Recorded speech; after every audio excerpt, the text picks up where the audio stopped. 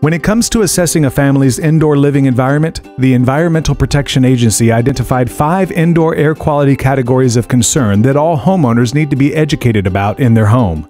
They are referred to as the five danger levels of indoor air quality.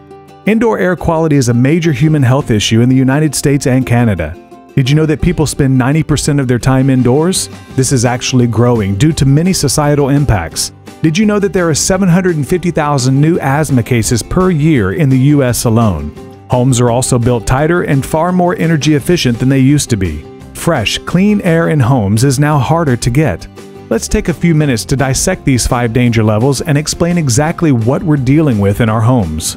Carbon monoxide at low levels causes mild health effects that are often mistaken for the flu. These symptoms include headaches, dizziness, disorientation, nausea, and fatigue. High doses of carbon monoxide can be fatal. Danger level 4 contaminants are microbial growth.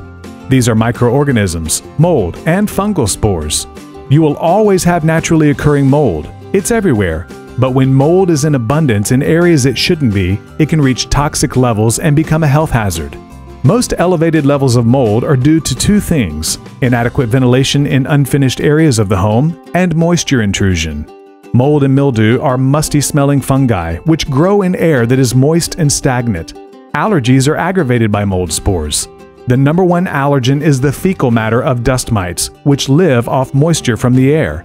Mild molds can cause sinus and respiratory infection, while severe molds can have catastrophic health consequences, including infertility. Danger level 3 are allergens and particulates. Dust, pet dander, pollen, insect debris, and smoke are microscopic organisms that may live and float around naturally in your home. They typically travel through your air ducts and upward through the home following the stack effect. Dust mites were mentioned when we discussed moisture. Keeping your house dry can make it hard for them to live. Filtering and cleaning your indoor air is very important too if these allergens and particulates are present in abundance. Symptoms of high levels of allergens and particulates could be nose and throat irritation, congestion, sneezing, coughing, and asthma flare ups. Have you ever said, I'm going outside for a breath of fresh air? Danger level 2 contaminants are infectious illness in the form of colds, flu, bacteria, germs, and viruses. They are airborne illnesses or microorganisms.